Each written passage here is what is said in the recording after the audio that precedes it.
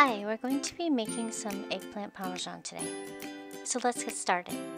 You're going to need one eggplant, one cup of breadcrumbs, and one egg.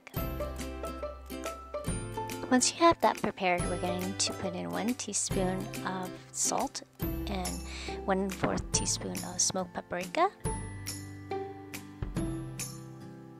and one teaspoon of black pepper.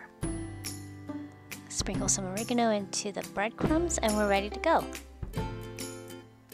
I'm gonna mix that up a little bit. Now what we're gonna do is take the eggplant and mix it into the egg mixture and then into the breadcrumbs. And you're going to repeat this process until all the eggplant slices are done just going to put it into the oven. It's pretty simple and pretty easy.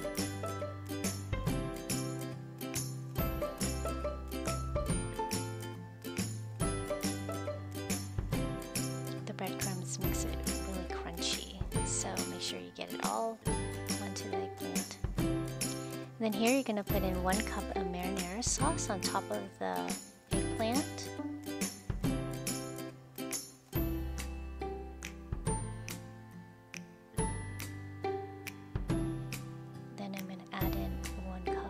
Mozzarella cheese. Just put it all on top. Preheat the oven for 350 and they're ready to go into the oven. You're to cook it for about 15 20 minutes and here you go. Enjoy your eggplant parmesan and remember to like and subscribe to my channel. Thanks.